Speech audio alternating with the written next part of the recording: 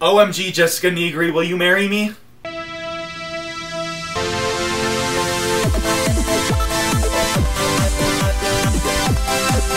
Hey guys, Andres here again with today's No Good Daily Update. And today would normally be my Social Thursday where I answer questions from you, but there was a news story that was too tragic for me to just pass up and report on tomorrow.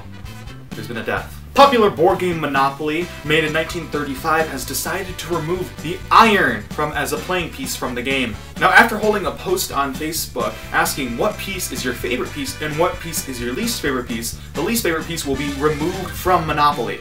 Now, fans from over 120 countries participated in this vote. Now, Scotty the dog, which is the dog piece, you know, you put him on and he walks around, and I didn't even know he actually had a name, won most popular piece with 29% of the votes. Now, obviously, the Iron received the least amount of votes and was kicked to the curb accordingly. Now, I bet you're all dying to know what the most new popular piece is going to be in Monopoly and what you and all of your friends are going to fight over.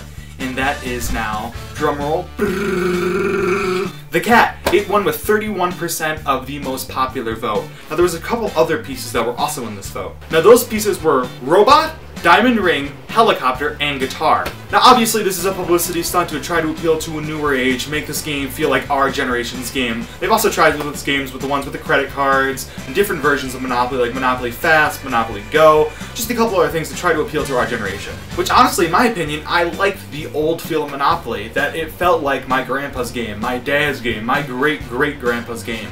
But hey, you know what? Who am I to judge? Now, while the iron was unable to be saved, other companies were fighting for pieces that represented their company to try to stay in the game. Like popular shoe company Zappos tried to start a video and a petition to save the shoe, which they were trying to save the piece that represented their company the most. Now, to be honest, I thought this was a brilliant and awesome publicity idea from them to get their name out there and even try to save their favorite piece to make it seem like they're a person of a company and that they love Monopoly just as much as everyone else loves playing it. And when I'm done, I feel like a stockbroker or crack dealer, definitely one of the two. But in my closing thought, I am sad to see it go, but I'm excited for something new to be coming to a game that literally hasn't changed since 1935. Thank you for watching my video, and thank you for helping me beat the 5,000 total view marks today on YouTube. As of right now, we are at 5,632 views on YouTube. I couldn't have done it without you guys, and thank you so much.